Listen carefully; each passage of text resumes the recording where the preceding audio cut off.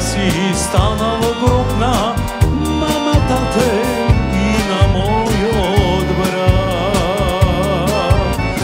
Не го пропуштете премиерното издание на нашите 7 осмини во недела во 19 часот и 30 минути. Фреквенција Балкан Мюзик телевизија.